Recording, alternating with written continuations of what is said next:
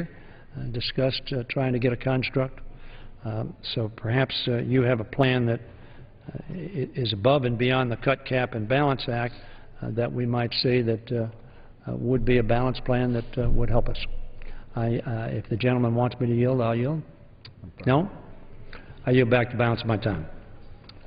Both gentlemen yield back. Mr. Speaker. Gentleman for Virginia is recognized. Mr. Speaker, I ask unanimous consent that when the House adjourns today, it adjourn to meet on Monday next, when it shall convene at noon for morning hour debate and 2 p.m. for legislative business. Without objection, so ordered.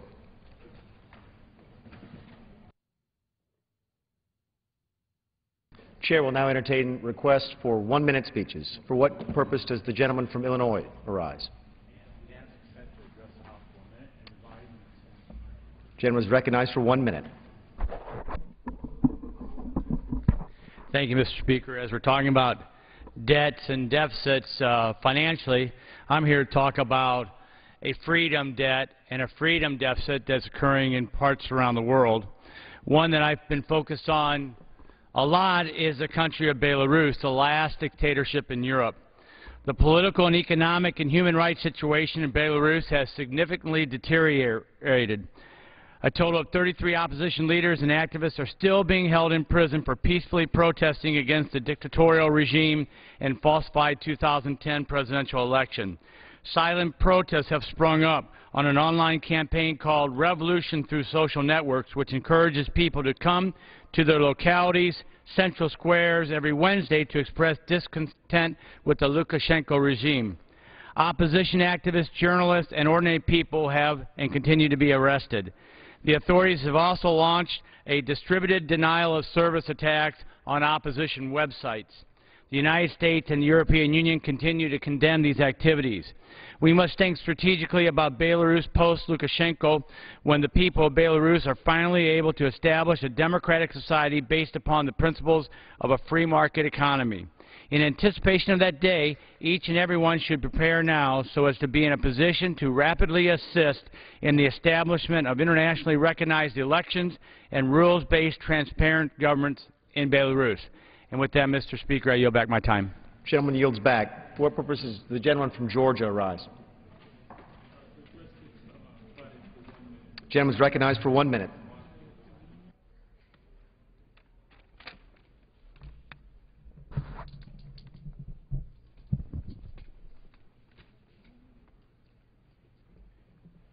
Mr. Speaker, today, thanks to the courageous reporting of two journalists for Al Jazeera's English network, Callum Macrae and John D. McHugh, who risked their lives to find the truth, we have shocking evidence of war crimes committed by the Sudanese armed forces against Nuba civilians in Sudan's South Kordofan province. Here in this photo, a two-year-old victim of an airstrike. And here is a bomb crater uh, in the middle of this Nuba village, 50, 50 feet wide, 15 feet deep. And here, Mr. Uh, uh, Chairman, uh, satellite imagery analyzed by Harvard University's Humanitarian Initiative reveals evidence of mass graves outside South Kordofan's capital of Kadugli. At this moment, Mr. Speaker, as the UN personnel hide behind their barracks walls, the SAF are hunting men, women, and children on foot in fighter jets and with bombs rolled out of back doors of cargo aircraft in Nuba villages. Where does the United Nations stand as the Nuba are wiped out? Where do we stand? I yield the balance of my time. Yields back. The chair now lays before the House the following request for leave of absence, and such leaves, without any objection being noted, are granted. Leave of absence requested for Mr. Burton of Indiana for today, Mr. Co- Coble of North Carolina for today afternoon, and Mr. Ellison of Minnesota for today. And without objection, those leaves are granted. Under the Speaker's announced policy of January 5, 2011, the gentleman from California, Mr. Cardoza, is now recognized for 60 minutes as the designee of the minority leader. The gentleman is recognized for 60 minutes. Thank you, Mr. Speaker. I ask unanimous consent to revise and extend my remarks. So ordered. I want to thank my good friend for yielding this time to me. Uh, Mr. Speaker, I rise today to honor and remember a great American, Mrs. Linda Lopez, a treasured member of my staff who passed away over the 4th of July weekend. It's somewhat appropriate that that was the weekend that she passed away since she was such an honorable and patriotic lady. Her services will be held today in our hometown that we shared. Linda was not only a dedicated constituent services representative, she was a tireless advocate and community leader, in Merced, California. Born in New Mexico, Linda moved to California's Central Valley in 1955, where she attended public school in Madera and then later attended Stanford University. For the past 40 years, she was involved in civil rights and social justice work and was considered one of the most influential Latina Americans in the Central Valley. Linda's community leadership included serving on the City of Merced's redevelopment agency Gateway Projects Citizens Advisory Committee, the City of Merced's Planning Commission, and several City of Merced ad hoc committees. She also served on the San Joaquin Valley Partnership Telecommunications Committee and the California State Advisory Board for Transportation, Planning, and Environmental Justice. Linda Lopez was also an alumni of the Great Valley Center's ideal inaugural class, Hispanics Organized for Political Equality and Leadership Merced. Not surprising, given her devotion to her community, Linda was named the 1998-99 Hispanic Woman of the Year by the Hispanic Chamber of Commerce. Linda joined my Merced district staff in 2006 as a constituent services representative, acting as my eyes and ears in the community. She worked on thousands of cases and helped thousands of people. She never let go of a case she believed needed work and was meritorious. Linda prided herself on giving 100% to everyone who walked in the office, regardless of their political uh, party, the color of their skin, what they believed or didn't believe. She believed everybody deserved to be treated well. It was not unusual at all for Linda to work late nights and on weekends to make home visits to elderly constituents needing assistance or to follow up with a phone call long after she had done her best to resolve the case. The hallmark of Linda's work was her unbelievable compassion, and she was appreciated not just by the people she helped, by, but by her community as a whole. Linda's passion for making a difference set her apart from many others. She offered a kind smile and a compassionate ear to everyone she came in contact with. Often, Linda's relationship with other community mem members evolved into mentorship programs and as her legacy, she asked that there be established a leadership scholarship in her name. Linda guided many other aspiring community activists in her passion and her efforts to serve others. In addition to her role as a public servant, Linda was a wife and a mother, and her beautiful family will miss her dearly. Linda Lopez made Merced, California a better place to live work, and raise a family. Mr. Speaker, I am very proud today to call her a member of Team Cardoza, and even more proud to call her a friend. Mr. Speaker, thank you for this opportunity to honor this great America, Linda Lopez, for her work, for her tireless efforts on behalf of our community, and for her work on behalf of our, our country.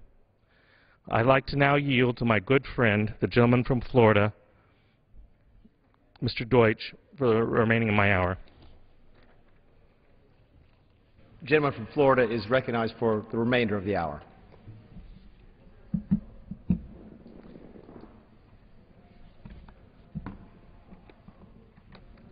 Thank you, Mr. Speaker. Mr. Speaker, yesterday I was overcome with disbelief to hear my Republican colleagues, the same colleagues who are leading America headfirst into its first default of its obligations, call on President Obama to start picking and choosing who wins when we run out of money. Now, pay our seniors first, Mr. President. When we force a default, pay our bondholders first, Mr. President. Pay our soldiers first, Mr. President. The GOP is shockingly silent, however, remarkably quiet when it comes to naming who the Treasury should stop paying when they force us into a default. Now, in case you weren't aware, let me clue you in on the definition of a default. It means the inability, the failure to meet our financial obligations. And we have many financial obligations we cannot afford thanks to the possibility of this default that our friends on the other side of the aisle are leading us toward. This is a crisis that they manufactured. Two wars unpaid for, tax cuts for millionaires that were unpaid for, policies that ignited a fiscal crisis and sunk us into a sea of red ink. Now, their refusal to accept responsibility for this debt that they created means that someone who the Treasury owes money to will not get paid. Someone will not get paid. And the full faith and credit of the United States of America will be broken. Now, they're playing a game with our economy to try to force through an extremist agenda. That's what we've been battling against. That's what you've been watching. That's what people all around the country are so incredibly frustrated with. It's a game that I have right beside me. It is, in fact, the GOP wheel of misfortune. Except in this game, there are no winners. There are only losers. But why don't we give it a spin? As we approach the defaults and we spin the wheel, the first one that comes up I see is, is 2 million federal workers. Come August 2nd, the GOP defaults forces the Treasury to send every federal employee home without a paycheck. From the personal care attendant who works for the Department of Veterans Affairs to the park rangers who lead families through our national parks. A GOP default will send 2 million American workers home without pay.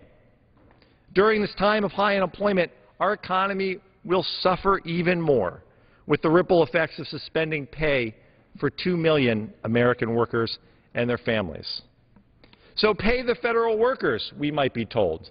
Let's figure out who else we might choose not to pay? What other obligations of the federal government will be broken? What will we choose to avoid if there's a default? Well, if we go back to the wheel, we spin the wheel again, we see foreign creditors. Come August 2nd, the GOP forced default will force the Treasury to stop paying interest to our foreign creditors who currently buy U.S. credit with total confidence. When you default on a credit card, everyone knows this. When you default on a credit card, you don't save money. Your interest rates go up. The bank lowers your credit rating.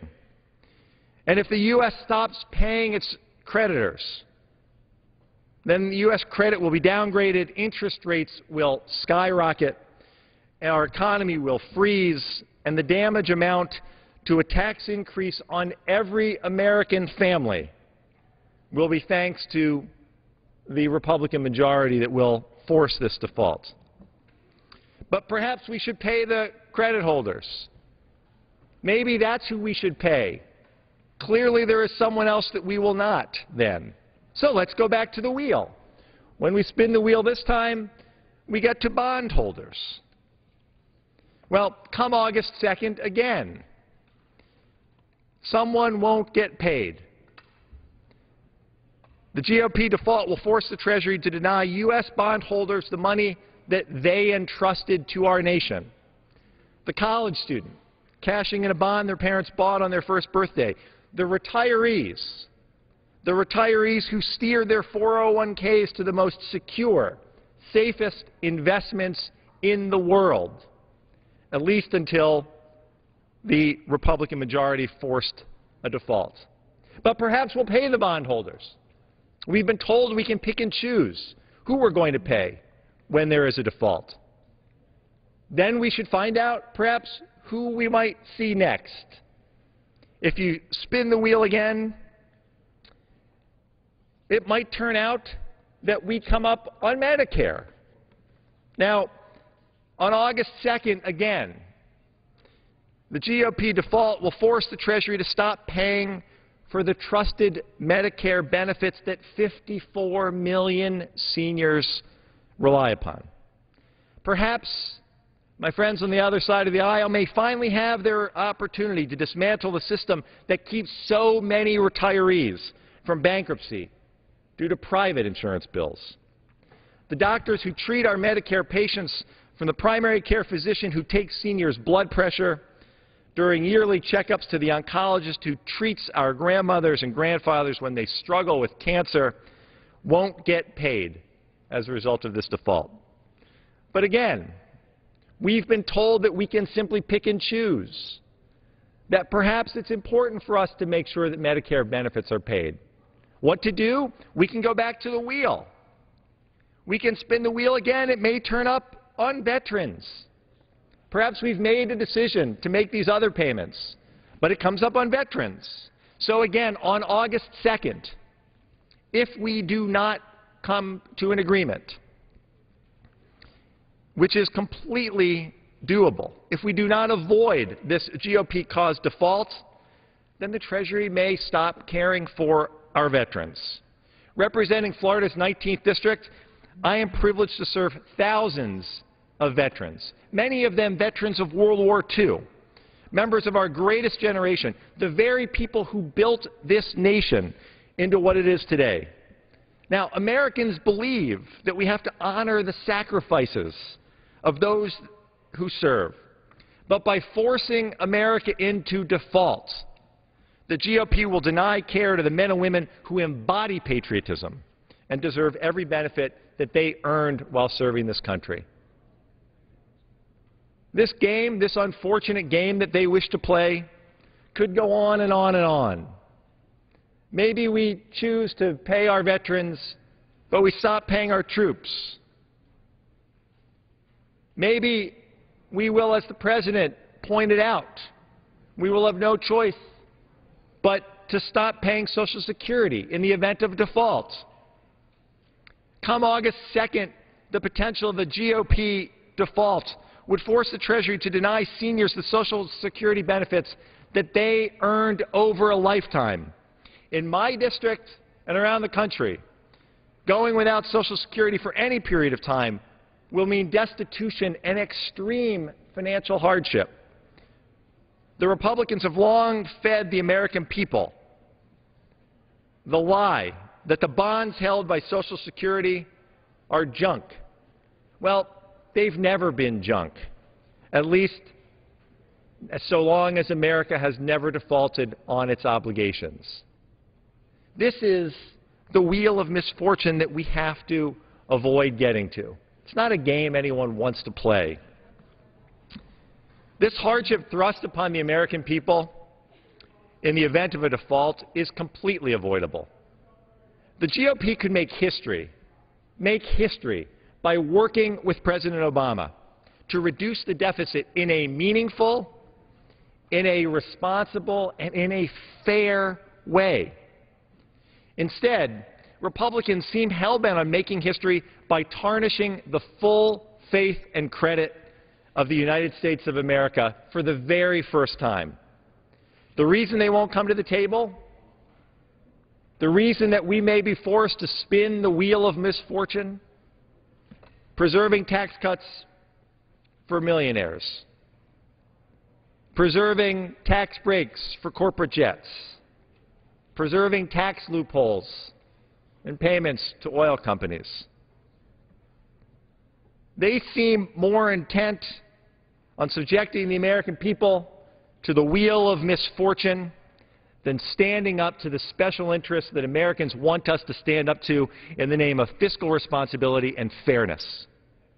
In this game of partisan politics, a game that people all around the country are tiring of, no one wins, and the American people, unfortunately, always lose out. Uh, thank you, Mr. Speaker. Uh, I would be delighted to yield uh, to the gentlelady from Texas, Ms. Jackson Lee. Gentlelady from Texas is recognized for the remainder of the hour. Let me um, thank the gentleman from Florida. He is. Uh, let me thank the gentleman from Florida. He has certainly uh, awakened a number of issues and members uh, on his important discussion. And I wanted to join in his commentary about this very important discussion. Mr. Speaker, we will be leaving shortly, uh, and I'm glad that we will be returning on Monday for very serious business. Many of us have been in meetings today uh, engaging on solutions uh, rather than distractions as it relates to the business of the American people. None of us have experienced, I believe, the attention uh, to an issue of the budget as much as we've had that attention now from our constituents on will the debt ceiling be raised. It's not a time in these past couple of weeks that I've gone home when business persons, students, seniors, working families have not asked the question, will we get it done? I'm an optimist, and I've said to them, yes, I expect that. In fact, I've already gotten it done. I voted on the clean debt ceiling raise or lift some many weeks ago. That was the right thing to do. And the reason is because over the last couple of decades, uh, we have had 60 plus increases in the debt ceiling, starting from Ronald Reagan, including Bush 1 and Bush 2, President Clinton, President Carter. And it's interesting that for some reason the tension in this discussion has really gone beyond understanding. Now, let me be very clear. I am looking forward. We have had uh, such an intense couple of months that we have not had the opportunity really to engage as members of Congress. Our committees have been fairly tense and rapid. Our schedules have been such that we've been here one week and gone the next. And I know that there are new members of the 87 members of the Republican conference that I would have some things to agree with. And I would uh, appreciate having that opportunity. But this is a time now without the opportunity to get to know all of the members of the Republican conference who are new that we have to get to know each other around solving America's problem. As I indicated, when a clean debt ceiling was put on the floor of the House, many Democrats voted for it. The bipartisan Simpson-Bowles committee, Democrats and Republicans were on that committee. At one point in the discussion with President Obama, the leadership of the Republican House agreed to do the larger package of $4 trillion as it relates to the debt ceiling, revenues and cuts. Makes sense, doesn't it? That's what a household does. They look at where they can bring down their budget, but they also say, now, what can we do to increase that revenue? People who are unemployed want to increase revenue by getting a job. And so I don't fully comprehend why it is such a complicated process to participate in. What makes it difficult is we have leadership in the other body that is Republican that says their main job is to defeat President Barack Obama in 2012. I didn't hear that discussion during my fellow Texan's tenure as president, George Bush uh, from Democrats. There were policies that we disagreed with, including the Iraq War. But there was no concentrated, continuous effort and statements. My main job here is to bring down President Bush. That was not the language that we used. So how do we get the leader of the minority in the Senate suggesting his main job is to bring down the President of the United States? That's what Mr. and Mrs. Jones, mom and pop, all over America don't understand. They don't understand it. Because we all take a pledge of oath. We all have the same Constitution in our hands. And we know that this body of lawmakers is looked upon as the most powerful lawmaking body in the world. Oh, we don't walk around with a lot of big shoulders, but that is how we're perceived. I happen to have been at the European Union discussing the conditions in Greece and Portugal. They are far different from that in the United States. First of all, economists will tell us this country is not broke. It has the ability to fix itself. Let us not cast out despair and desperation and frustration to the American people. We are Americans, not arrogant, but we're patriots. We can get this done. Why is there such a devastating attitude from my friends on the other side of the aisle? It is the end of the world, the death knell. And so those people who are looking forward to job creation and jobs are listening to this rancor, this discourse, and telling and saying to themselves, there is no hope. There is no hope.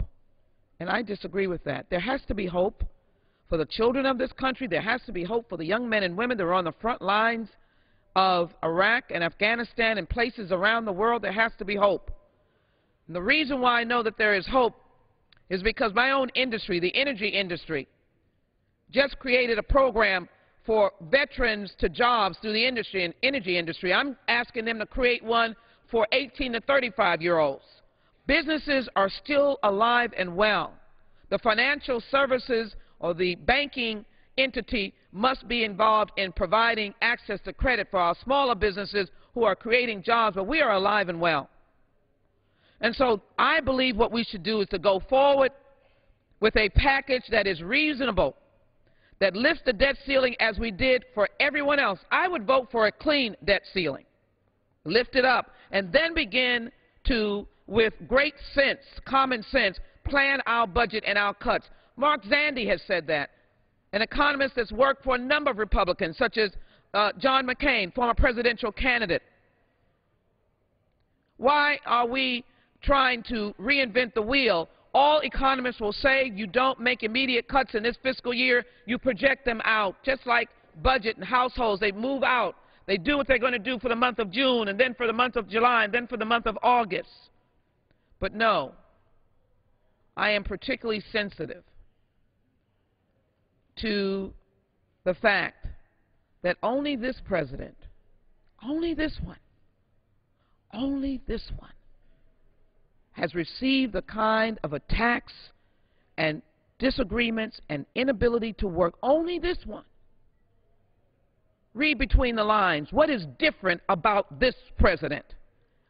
That should put him in a position that he should not receive the same kind of respectful treatment of when it is necessary to raise the debt limit in order to pay our bills, something required by both statute and the 14th Amendment, why isn't it addressed in the manner? It's all right to disagree or agree on the balanced budget amendment. It's all right to talk about how we're going to appropriate. In fact, in this House, the Republicans are getting their way, gutting and cutting everything that we can find. It's all right to have that disagreement. That is the give and take of democracy. When you win, you're the majority. And if we can't find a way to uh, agree together, then the majority wins. I understand that. But I do not understand what I think is the maligning and maliciousness of this president. Why is he different? And in my community, that is the question that we raise. In the minority community, that is the question that is being raised. Why is this president being treated so disrespectfully. Why has the debt limit been raised 60 times? Why does the leader of the Senate continually talk about his job is to bring the president down to make sure he's unelected? It's 2011, it's not 2012. You need to play those politics in 2012, not now. And so we can move forward. You may disagree with me. I believe it's important to preserve Medicare, Medicaid, and Social Security, lifelines for our community. And many of us believe that that will not dash the hopes and dreams of Americans to make sure that seniors and the disabled and uh, those who are retired and those who uh, need these resources, children who need Medicaid, it's not unseemly to protect them in the course of our discussion on budget cuts. It's not unseemly to protect military families. It's not unseemly to be able to provide increase in salaries for the young, uh, if you will, enlisted man or woman who, in some occasions, have been on food stamps.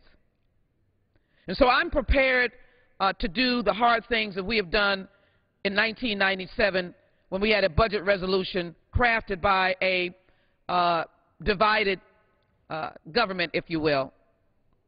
And we produced a children's health insurance program and a balanced budget without a balanced budget amendment. And there were some fixes that we're still living with, such as the physician reimbursement that came about. As you do, as, as what happens when you do that, something has to be fixed. We're still suffering with the physician reimbursement, which came about through the 1997 balanced budget. So balancing the budget and a balanced budget amendment is not all peaches, is not all peaches and cream. It can truly be destructive. But I am willing in the long range, with common sense coming from Texas, to look seriously at how we can work together for cuts but revenue enhancers. I just had a meeting with industry representatives this morning that one of the industries that happens to be in the eye of the storm and there was a consensus saying we're prepared to look broadly at tax reform. We'd like to give our ideas. I said, you deserve to give your ideas, and as you deserve to let everyone know that we're in the business of creating jobs. But we cannot do this in the background of the hostility of the inappropriate treatment and behavior around President Barack Obama. So what are we prepared to support? I believe, again, that we can come together around a reasoned response, and that reasoned response, again, are revenues and cuts. And I believe that we can move this before August 2nd. We only have to be able to convince the new members and the leadership the point man for the Republicans that it is better to stand as a whole nation than to bring us down. There are those who believe this is what will happen before August 2nd. And frankly, it is a challenge.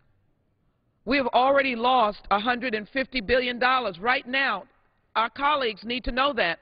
By all of this fooling around, we're losing in the markets 150 to 200 billion dollars. You want to know where the unemployment came from?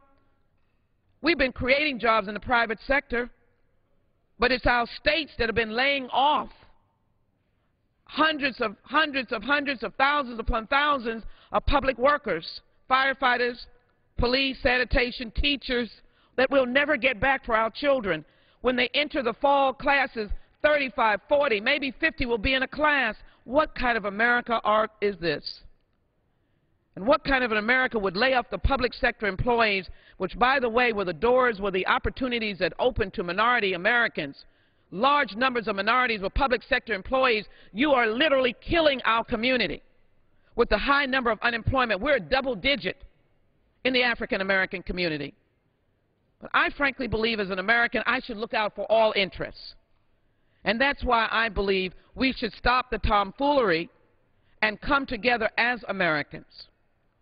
And yes, I, have to, I will have to make sacrifices. We've laid out our parameters, mine, Medicare, Medicaid, and Social Security. But what can we do together? And what can we do where the pain is distributed? And what can we do with the respect given to everyone?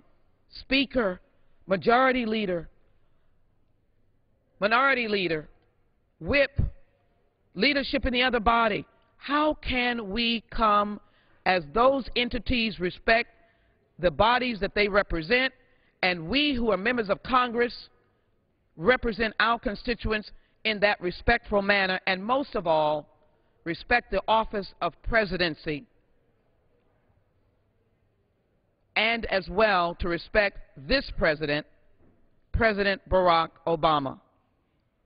I hope someone will say that what it appears to be is not in fact accurate, but historically it seems to be nothing more.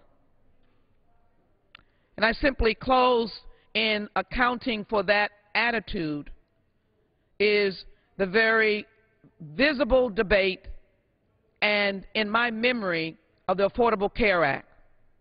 And I have never seen the level of depicting of a President of the United States by Americans as I had seen during that debate. Never seen it.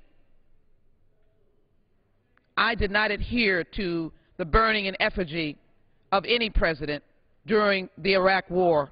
At that point, it was President Bush. The shoe throwing, I spoke vigorously against that. You do not disrespect our president. You disagree or you agree, but not in the way that I have seen. I simply close uh, this afternoon by saying that it gives me a great sense of affection, I'd say pride for a lack of a better word, in what this country stands for. I believe that America can solve any problem that she puts her mind to. The tumultuous 60s is part of my history. A segregated America is part of my history. And during that time, one felt, could we ever come through this? The bloodshed, the hanging, the brutality. But isn't it wonderful that a man by the name of Martin King rose along with others, too many to name, and carried the mantle of peace, the drum major for peace. And he came through all of the contentiousness and all of the conflict and raised his voice and said, America can do better. And a president who I'm most proud of by the name of Lyndon Baines Johnson used his political astuteness and crossed very difficult lines. The Dixiecrats, and others in the United States Congress who couldn't imagine supporting any manner of civil rights legislation. Isn't that a miracle? What we thought we could not do. And that president, who I owe such a great debt of gratitude, that master of the political process, Lyndon Baines Johnson, the creator of the Great Society, of which many of us now benefit from, Pell Grants and Medicare and housing, that person we call the president at that time orchestrated groups that possibly would never speak to each other and voted to change and move America forward. And so I ask the question, what makes President Obama differently? I cannot imagine coming this far in my life, that of my children's life, and that of others to come to a point where we would use the uniqueness and the difference of this president to treat him differently. If that is not getting in our way, then there is no reason why we cannot come together and solve this problem. As some would say, this is not rocket science. It is voting for uh, the right approach, and that approach is revenue and cuts. I will go home to my district and engage with anyone who desires to engage in these discussions. We see each other as we walk about and go about our duties and give them the sense of optimism that I have. As I do that, I will be in a meeting discussing why the North Forest Independent School District, one of the last re re remaining districts with a 70% plus African American population, has been closed by Governor Perry and the Texas Education Agency. Why? 7,000 students and parents now looking as to what is their next step. Why is it closed? Is it because you underfunded them and didn't provide them with the resources? Is it because we have uh, no interest in getting our hands into the mix and trying to help bring up the scores with teachers and salaries that can meet uh, the needs of students who are in a property poor area? I'll go home and deal with that. And In the course of dealing with that, I'll talk to those parents about hope, about the greatness of this nation, and about the fact that we're going to do our job. And as well, I'll talk to them about the sense of pride and respect we have for the president that this nation elected that has come out of a history that I am very well aware of. We would hope that the same respect that was given to the first Irish Catholic president, the same respect and interest that has been given from any president that brings to bear a unique and valuable perspective would be given to the President of the United States, the American president, our president. He is no different from any other president that has served. And I beg this House and I beg this Congress to treat him with the dignity that the office deserves. Get on with our work. Get on with solving the problems for the American people, a vastly diverse and richly multicultural nation. I am grateful for that. God bless this Congress. God bless this President. God bless the United States of America. We can do this job. I yield back. Gentlelady yields back.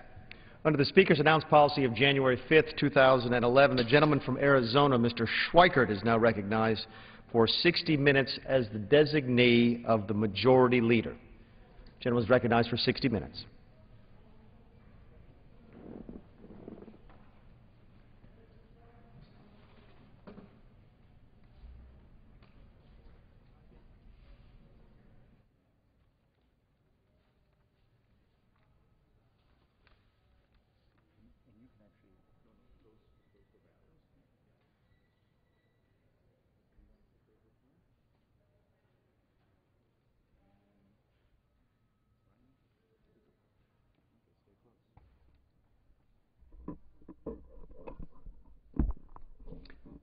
Thank you, Mr. Speaker.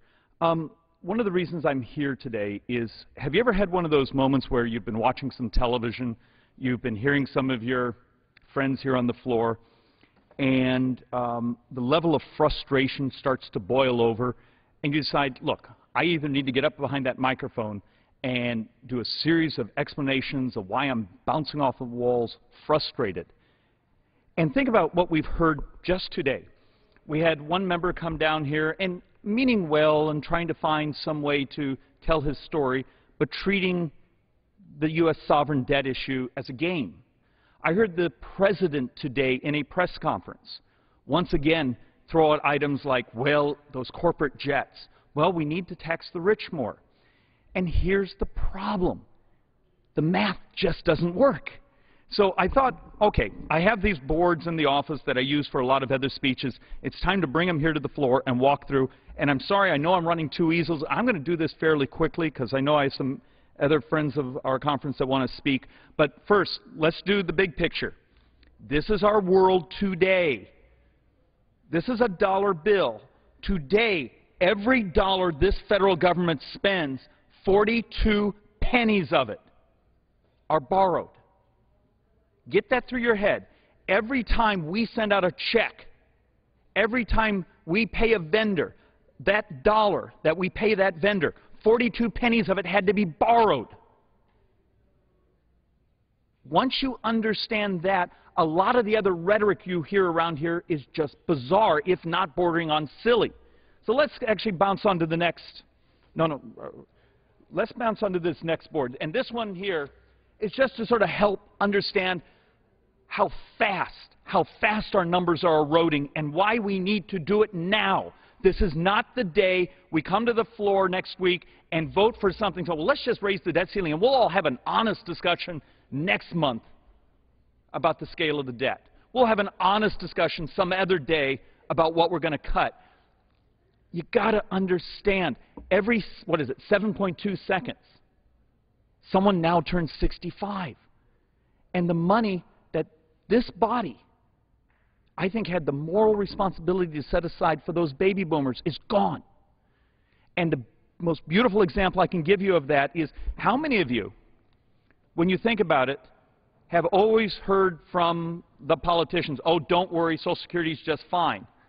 But didn't we just hear the President say, well, if we don't raise the debt ceiling, there might be a problem?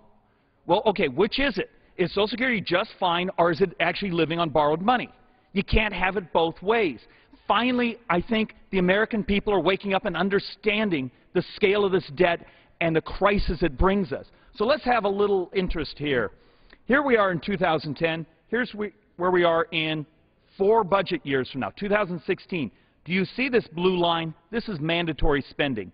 It continues to grow and grow and grow. I'm told in about 13 and a half years, this blue line consumes every dime of federal spending. We are consumed by the mandatory spending. The entitlements consume everything we are as a people. But here's one of the rubs.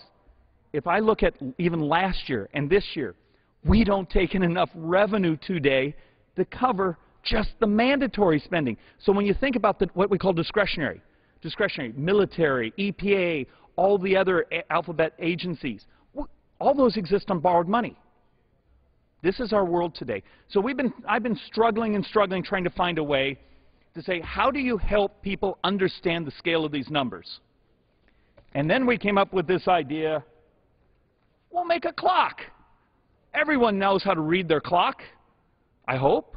Of course, the problem is one of my staffers pointed out all the kids today were wearing digital watches, so I, but we're going to try it this way. How many of you repeatedly, whether it be today or the press conference a couple of weeks ago, have heard the president over and over and over and over say things like, those corporate jet owners need to step up and start participating more. Okay, fine. Let's say we all agree with that. How much does that actually buy us? Think about this. We borrow 4.7 billion every single day. This whole discussion over here where people, and we heard it just an hour ago from a member and the leadership on the minority saying, oh, corporate jets, you've got to be willing to give up those. Okay, let's say we do. What does it really buy us? Well, you'll be happy to know that we did the calculation to make it easy. It will buy you 15 seconds, 15 seconds of borrowing a day. Okay, work through this with me. There's what, 1,440 minutes in a day, you know, out of those 24 hours, and we're having discussions about things that are 15 seconds. This is absurd. So let's actually go on to some of the other really brilliant suggestions that seem to be coming out here. How many of you remember about six weeks ago the majority in the U.S. Senate held literally hearing after hearing about those subsidies to big oil and acted like, oh, if we get rid of these, they'll actually do something. We even heard it again an hour ago over here from the left, saying if we get rid of those subsidies, that's our first step into balancing this budget. So let's do the math. But let's actually do it my way. We wipe out the depletion allowance and all these other subsidies for not just big oil, but for all oil. It equals 2.44 billion a year. And just for a reference standpoint over there, I thought it would be fair for everyone to understand those 2.44 billion that we call subsidies to big oil, there's 8.72 billion that goes to green energy. Brian, will you throw? So, so understand the scale here. But well, let's just, right now, we're only going to fixate on fossil fuels. What does that really buy us? Well, I did it both ways for those people that like, you know, charts, but those folks that like a clock. It buys you 2.2 minutes. So you see our little hand here? This whole discussion. And they act like it really does something. So we had the corporate jets at 15 seconds. Now this whole discussion about big oil and taking away those subsidies, it buys you 2.2 minutes of borrowing a day. Think of that. This is what around here holds up as honest debate? This is the honest proposals that this government is throwing out and letting the American people think we're actually talking about saying, well, if we raise the debt ceiling, we're going to go after these things and we'll get rid of those corporate jet subsidies and we'll get that big oil. And yes, we'll have almost gotten three minutes of borrowing cover today. It's absurd. So let's actually bounce on to one of the other bits of discussion that bounce around here. How many of you, and we actually just heard it a little while ago, those tax cuts? Do you remember those Bush tax cut extensions, which actually now are the Obama Bush tax cut extensions because the president signed them back in December under the lame duck session, if we all remember that. And we hear the discussion, we need to take those tax cuts away from those millionaires and billionaires. That will balance this budget. Does anyone out there actually pull out their calculator and do math? So I thought, why don't we make a clock out of it? We'll make a slide out of it so we understand reality. If you remove the tax cut extensions for everyone, not just the millionaires and billionaires, let's just do everyone because math was easier to do that way, it buys you a whopping 28 minutes of borrowing a day. Think of that. I've watched people walk up to this well of this house, stare into this audience, this august body, and act like it would solve the problem. How can this place be operating under math fantasy? 28 minutes if you wipe out, and that's playing the assumption that it doesn't slow down the economy, doesn't raise up unemployment, and every dime actually comes in. But if we're willing to engage in that fantasy, because why not? The, obviously, the argument is fantasy. It takes care of 28 minutes of borrowing. So let's see. So far, we've covered 15 seconds with the corporate jets and 2.2 minutes with going after all fossil fuels. And now we found another 28 minutes. 28 minutes of borrowing can be covered if we wiped out what we call the Bush tax extensions that are really important to economic growth, but we'll, we'll, we'll just give it and just also pretend every dime comes in. Are you starting to realize we're barely at a half an hour of borrowing a day. And these are the types of proposals we're getting from the left on what we should do. You start to realize where's its basis in reality. So let's actually go for a big one. Let's actually hop on because you know, I'm not a big fan of war. So I thought, hey, why don't we calculate the big kahuna? What would happen?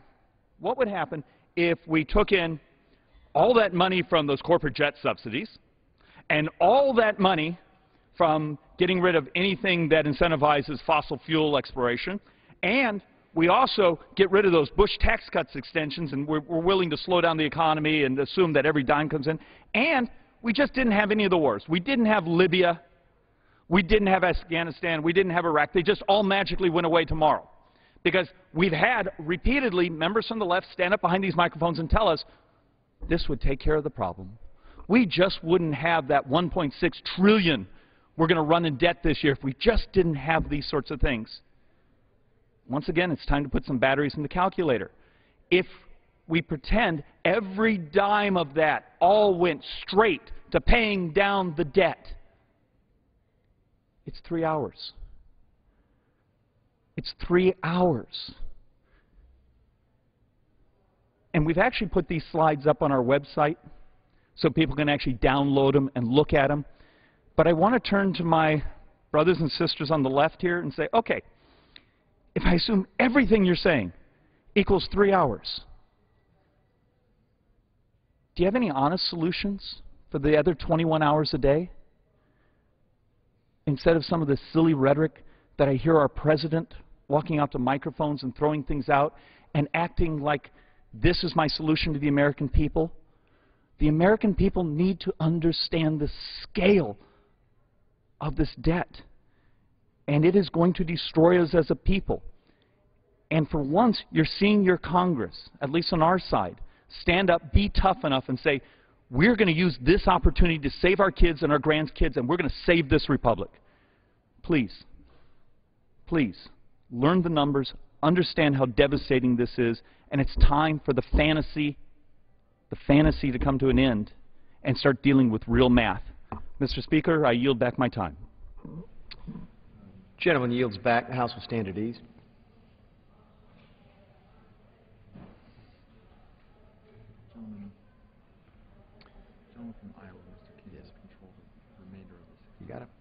Gentleman from Iowa will control the remainder of the hour. Gentleman is recognized for the balance of the hour. Thank you, Mr. Speaker. Mr. Speaker, it's my privilege to um, be recognized here on the floor of the House of Representatives and be able to address you on the about the matters of the day and the important issues that are before us here in this Congress and in this nation. And, uh, and I'm continually impressed by the quality of the young people that are attracted to this city, both as visitors, vacationers, um, but also from uh, people that will get their college degree or degrees, and many of them with a 4.0 grade point average, active in all kinds of extracurriculars.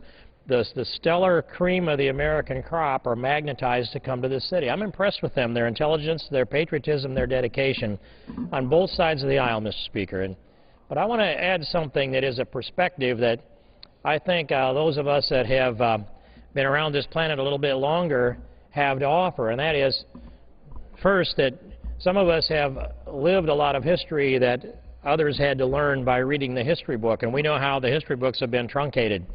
And there's not time to learn all the things that happened in history. Some of us learned a lot of history from the front page, from the radio, from the television, from the news, or from being in the middle of that history. And that all is part of the collective memory of this House of Representatives and the Senate on the other side. Some will say they probably remember more history in the Senate than we do here in the House. But, Mr. Speaker, my point to this is, is this, that you can have very smart people with very good principles, and the experience of their life are supportive of them understanding the underpinnings of the greatness of this country, understanding the pillars of American exceptionalism. But sometimes the definitions, and as it's presented, is taken at face value because they might not have had the years to see things go wrong when good ideas come before this Congress. And I look back and think of the time in 1995, actually 1994, when Republicans took over the majority in the House of Representatives here after 40 years of wandering in the wilderness of being in the minority and not being able to advance legislation. There were many here in on the Republican side of the aisle that were complacent with that, Mr. Speaker, that accepted the idea that the majority would maybe never change in their lifetime, and they operated within the zone that had been delivered to them, and they didn't go and um, charge the ramparts or the windmills, so to speak, because the ramparts to them were windmills. Yet there were others that were revolutionaries that saw the vision, that realized that America was going the wrong direction. And they built a coalition here in the House of Representatives that I watched on C-SPAN night after night after night. Step down here on this floor at this very spot, Mr. Speaker, and make arguments to the American people, make arguments to me that moved me moved me in my head and moved me in my heart and helped me understand that it wasn't me alone uh, that was seeing that America was going the wrong direction, that we were overspending and we, we had this massive welfare system and that we were expanding the dependency class in America. This, this spirited people that we are, this unique people that we are here in America, we're being diminished we're being diminished by the, the growth of the nanny state and the growth of the dependency class in America. So in 1994, the, the inspiration came from many people that were hearing the inspiring words that, that were spoken into this very microphone, Mr. Speaker, but also across the country, on talk radio, across the backyard fence, over a cup of coffee, at work, at church, at school, at play, at recreation, in fishing boats and golf carts across America, we had a national conversation about where America needed to go. And the result of that consensus of the national conversation was a massive change in the seats here in the House of Representatives and a new majority in the House of Representatives that came sweeping in in November of 1994. And there were big changes. And the freshman class that came in and was sworn in here on this floor in January of 1995 were revolutionaries. And they brought a difference. And they forced a balanced budget here in the House that was not expected to ever be reached. They forced, they cut spending until they forced a balanced budget. And they reduced welfare and put more people in a position where they could earn their dignity and a paycheck at the same time. Now, as this unfolded, they brought forth, as they said they would in the contract with America, that they would vote on a constitutional amendment to produce a balanced budget. That was the 1994 promise that was fulfilled in 1995. A vote on a balanced budget amendment here in the House of Representatives that passed the House of Representatives was messaged right directly down the hallway to the United States Senate, Mr. Speaker, where the Senate took up the vote for the constitutional amendment to balance the budget, and it failed in the Senate in 1995 by a single vote. How different how different might it have been, Mr. Speaker, if one more Senate seat had gone the other way, if one more United States Senate race had resulted in a victory for someone who believed in a balanced budget amendment, who believed in the Constitution itself, fiscal responsibility, those American exceptionalism principles that I have briefly mentioned, but believed in requiring a balanced budget constitutionally. How different it might have, might have been if the Senate had voted with a two-thirds majority as the House did in 1995 and had, had sent a constitutional amendment to require a balanced budget to the states, the 50 states, for ratification. Now, we know, Mr. Speaker, it takes three-quarters of the states to ratify an amendment to the Constitution before it becomes incorporated into our Constitution. We'll never know how many states would have ratified that amendment because they didn't get the chance to do so. Had that been messaged to the, to the states in 1995, we can only ask the question, would the states have ratified a balanced budget amendment? I think so. I believe three-quarters of the states at a minimum would have done so.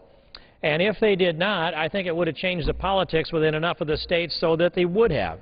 Imagine if this Congress here and now, today, this week, this month, would pass a balanced budget amendment to the United States Constitution out of this House with a better than two-thirds majority, equal or better than, to the Senate where they need 67 votes in the Senate. If that constitutional amendment to require a balanced budget gets messaged to the states, some will say, look at the makeup of the state legislatures. There aren't, there aren't enough, put it this way, Mr. Speaker, enough Republican majorities to pass and ratify a constitutional amendment to require a balanced budget.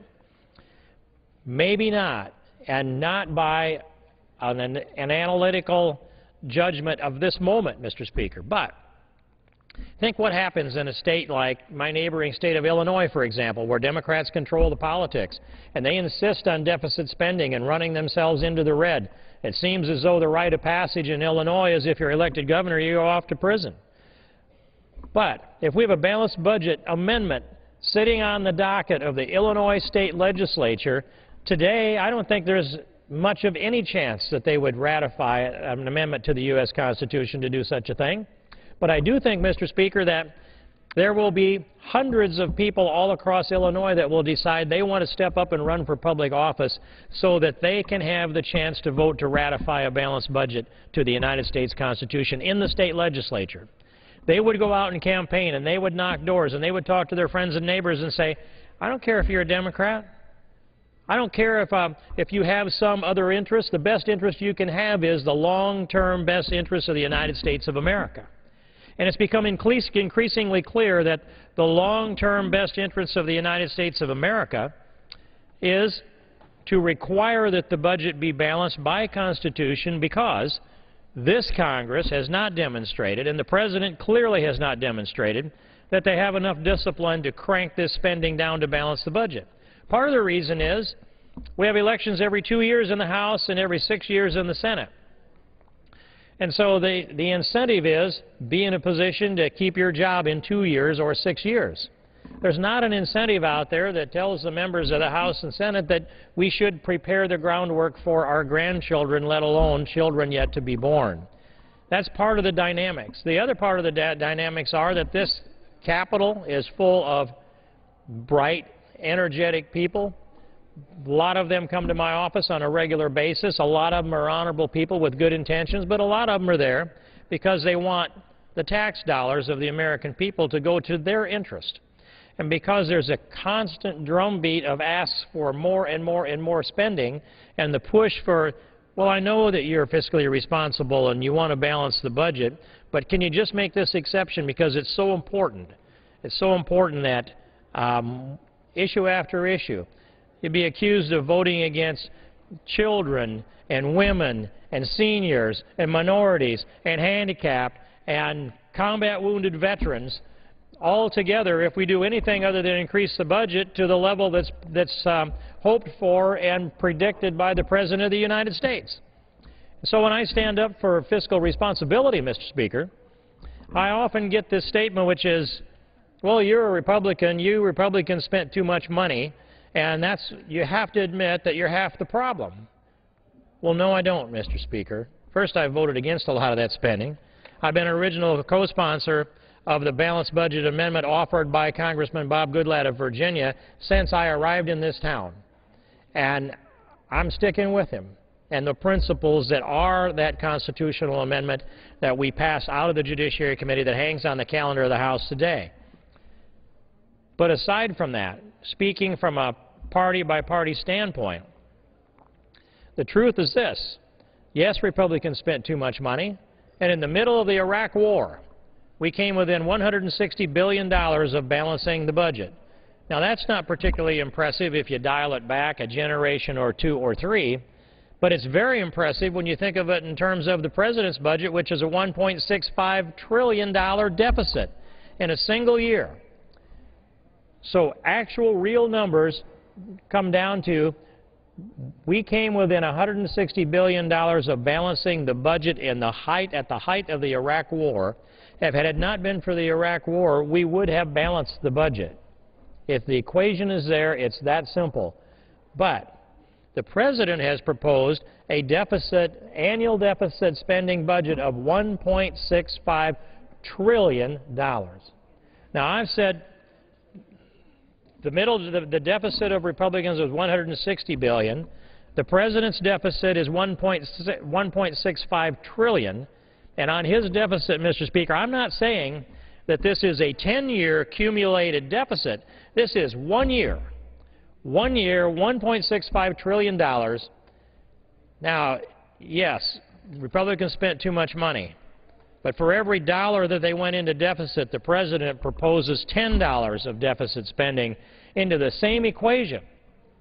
I can't see that that's a shared responsibility. It looks to me like it's 10 times the overspending on the part of the President versus one-tenth of that on the part of the, the Republican Congress here in the middle of the Iraq War.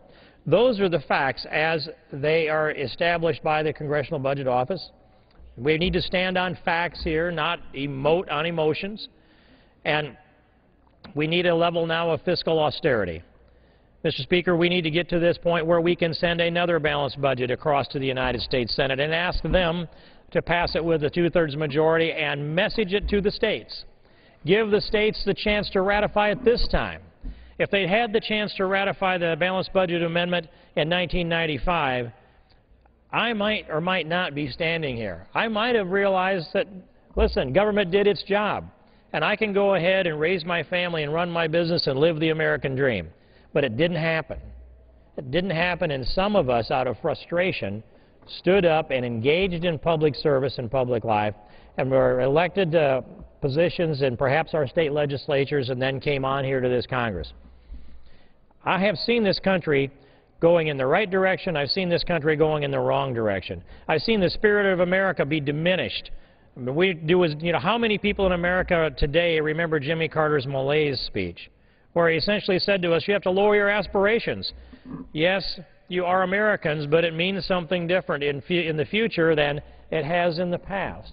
That America is no longer going to be a country with unlimited resources and prosperity and aspirations and, and realized dreams, but that we have to wear a sweater and turn the thermostat down and drive at 55 and be limited by government.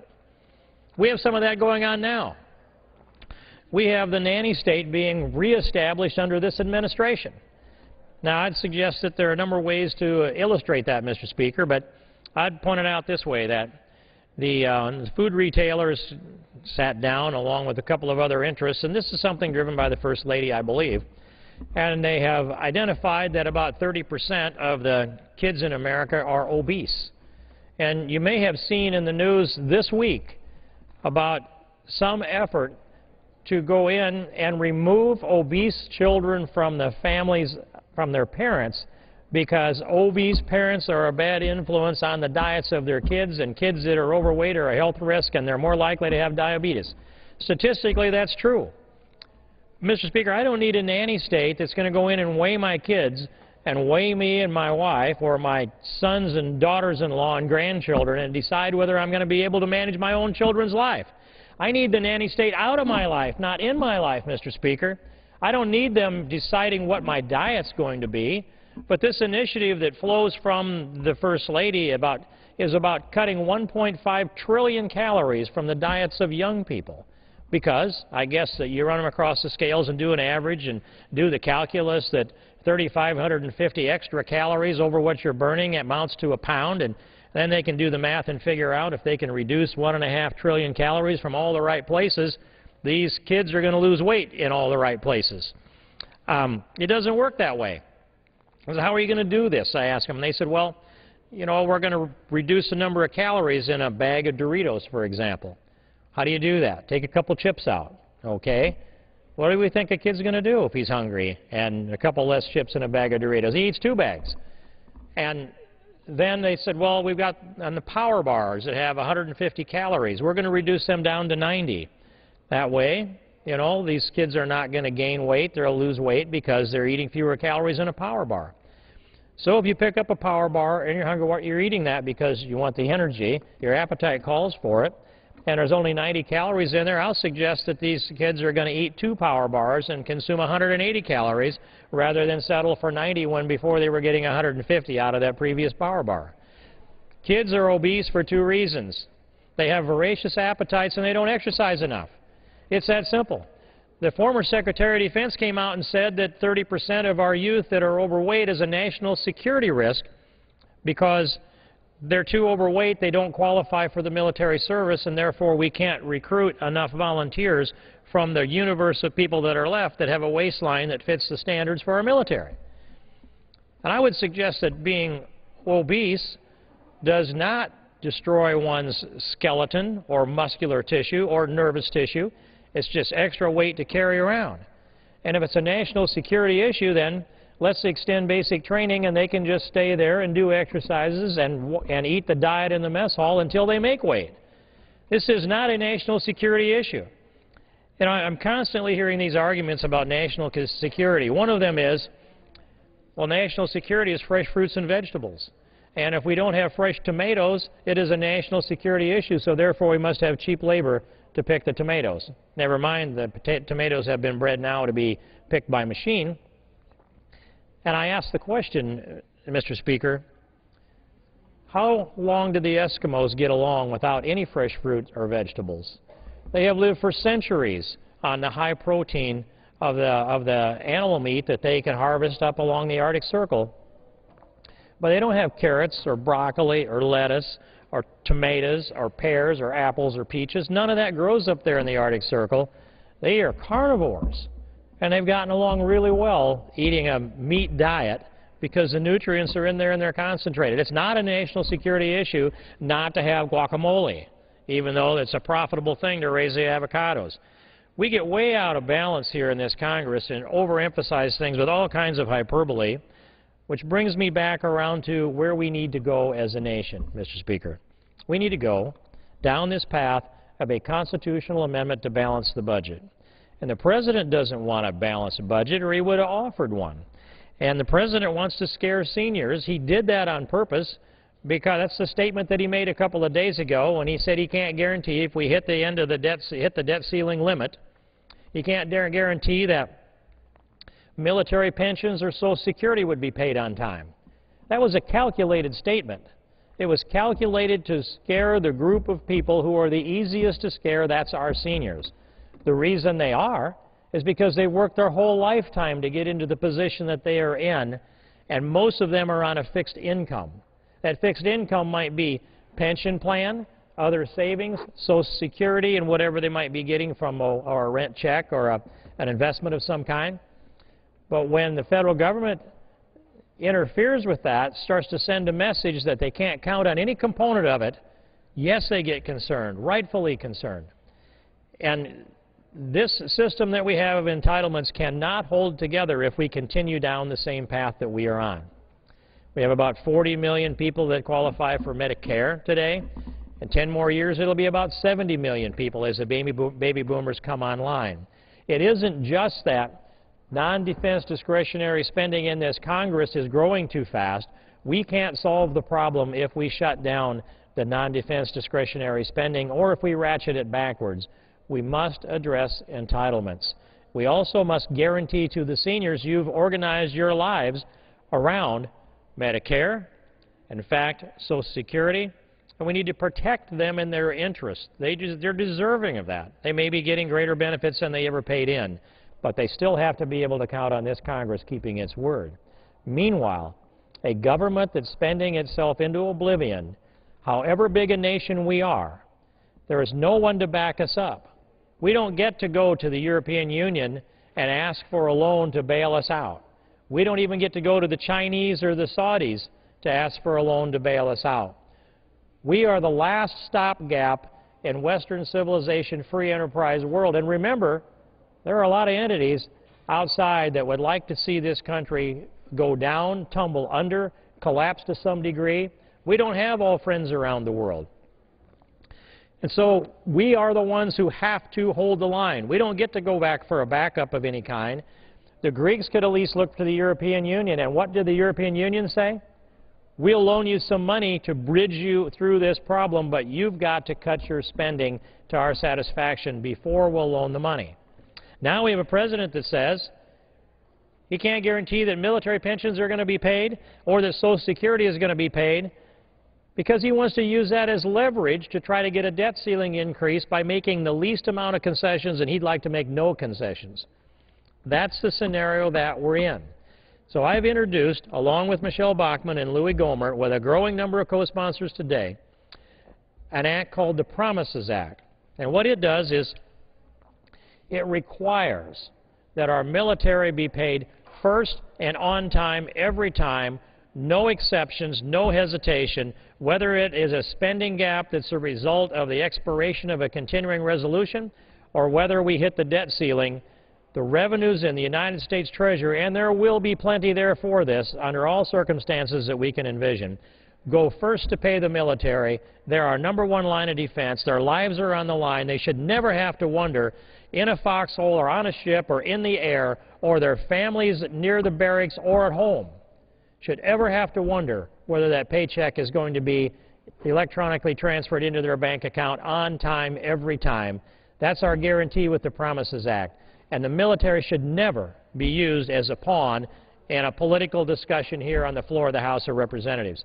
Second thing is, we need to, we need to take care of the full faith and credit of the United States government. That means we have to pay the interest and the necessary principal on our debt. We can do that with incoming revenues, and those who say we can't are wrong.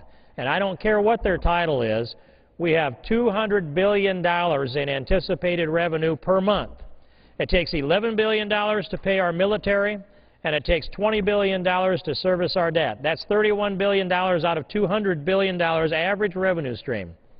That turns out to be, and I know, Mr. Speaker, you've calculated this in your head, 15.2 percent of the overall spending, of, the revenue stream per month, 15.2 percent. That means pay the military first, service our debt second, guarantee the full faith and credit of the United States of America, and there's still plenty of money in that funding stream left over to pay Social Security, pay Medicare, go on down the line, pay military pensions, keep faith with those who have stood on the line for America, and keep faith with our senior citizens. And it takes the leverage out of the hands of the President. That's what the Promises Act is about. And some will say, well, no, you can't. The money's not there. Tell me where that money is then. $200 billion a month, 11 billion to pay our military, 20 billion to service our debt. It costs, um, here's the number, $58 billion per month uh, for Social Security. And for Medicare, it is $43 billion per month. We can even add defense on there, and we're getting up to the limit. I mean, all defense, not just the military pay. So, you know, as you can see, Mr. Speaker, we have lots of options. I want to take the options off the table for the president. I don't want him to be scaring our seniors. I want that guarantee to be there, but I go just far enough in the Promises Act that we take care of the absolutely necessaries, and I'm open to the discussion on how we might add other priorities behind them. First priority, pay our troops first. Second priority, pay the interest and the principal to service the national debt.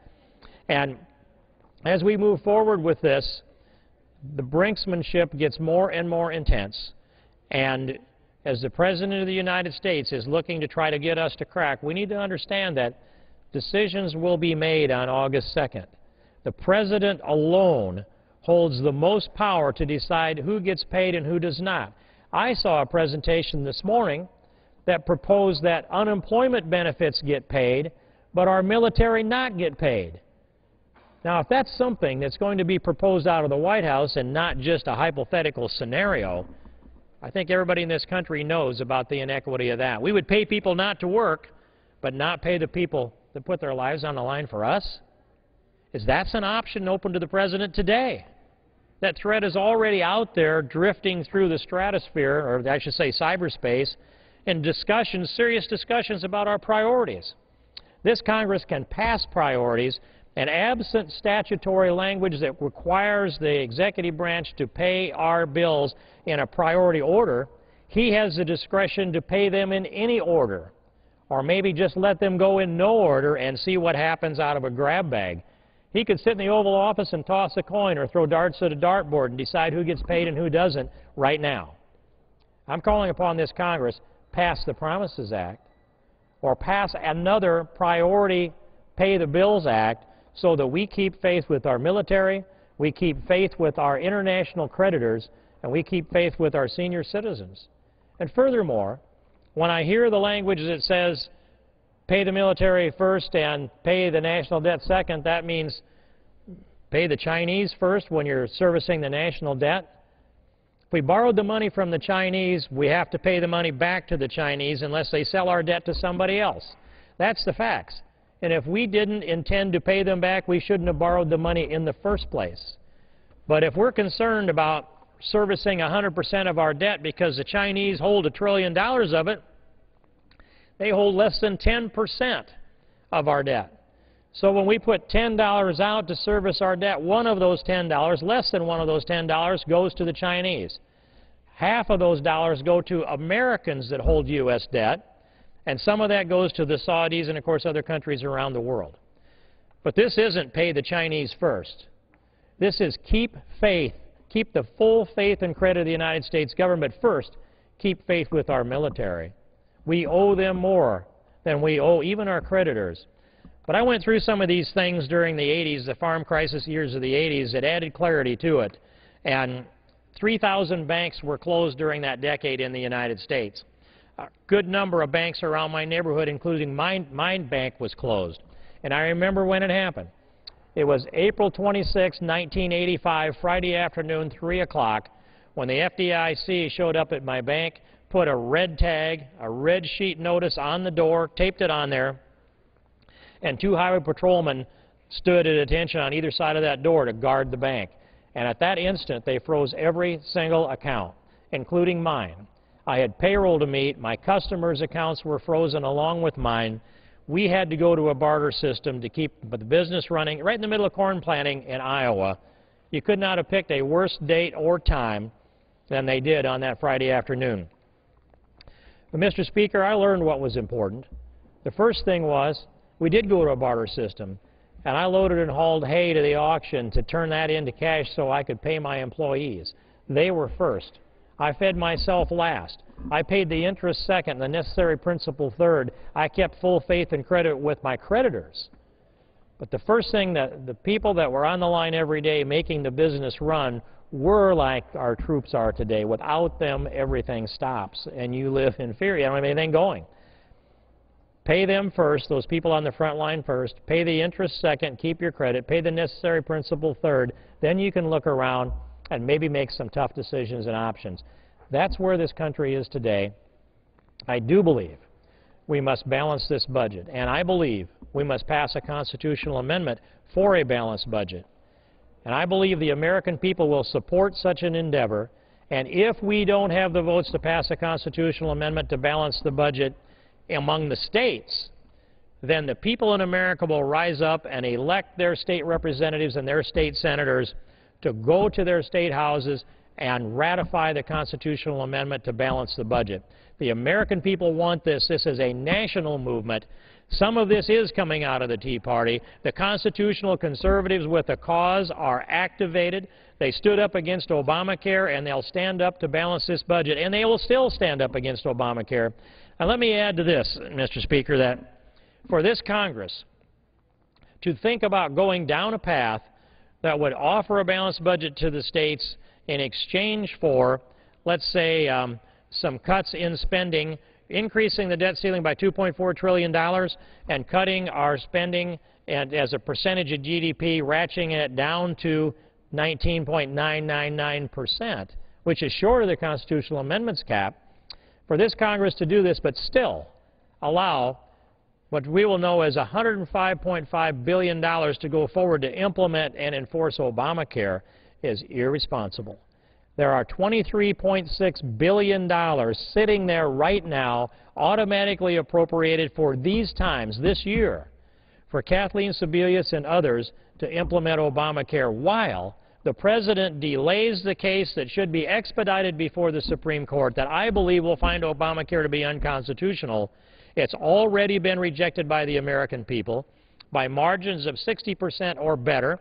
There are 87 freshmen in this House of Representatives, all of whom ran on repeal of Obamacare, all of whom voted to repeal Obamacare. Every Republican in the House of Representatives voted to repeal Obamacare, and every Republican in the United States Senate voted to repeal Obamacare.